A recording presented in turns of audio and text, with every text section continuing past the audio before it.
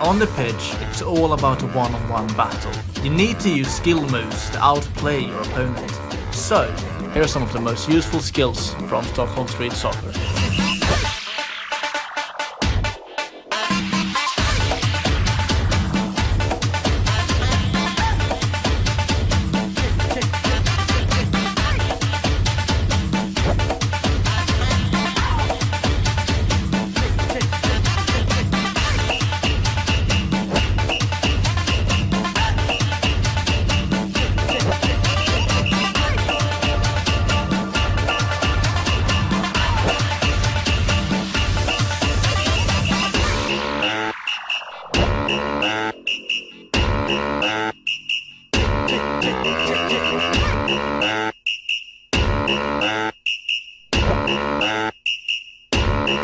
Thank you.